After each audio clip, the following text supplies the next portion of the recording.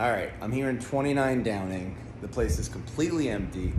And why am I here? Why am I in my underwear? It's because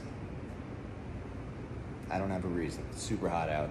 Being that it's in the middle of July, I just took my clothes off after a shoot and decided to just stand here in my underwear. What are you gonna do about it?